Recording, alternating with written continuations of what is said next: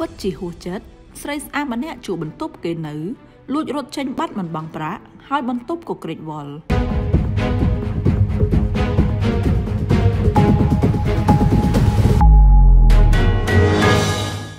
ចាសួស្តីបងអូនទាំងអស់គ្នានៅក្នុង Facebook នឹងហើយនិយាយទៅខ្ញុំដល់កោខ្ញុំបានខ្ញុំផុសម្ចាស់បន្ទប់ជួលម្នាក់បានសម្ដែងការមិនពេញចិត្តនិងខឹងសម្បាជាខ្លាំងទៅកាន់អ្នកជួលបន្ទប់ដែលជាស្រីស្អាតម្នាក់ តែបន្ទប់មិនបានរៀបចំឲ្យបានស្អាតបាតនោះទេលួចរត់ចេញបាត់ទាំងបន្ទប់សុទ្ធតែសម្រាមមានសភាពកក្រិចមើលមិនយល់មិនត្រឹមតែប៉ុណ្ណោះថែមទាំងចម្ពាក់លុយគាត់មួយចំនួនទៀតផងនេះបើយោងតាមការបង្ហោះរបស់ម្ចាស់បន្ទប់ជួលរូបនេះបានបង្ហោះវីដេអូ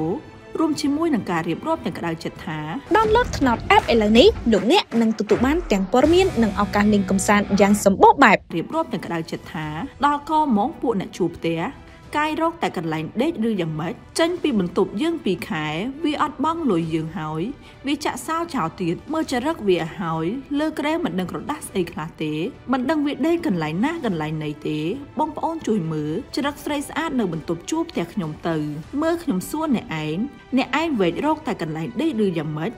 រត់ចោលបន្ទប់អត់បង់លុយខ្ញុំទៀតពីខែហើយជំពាក់លុយខ្ញុំ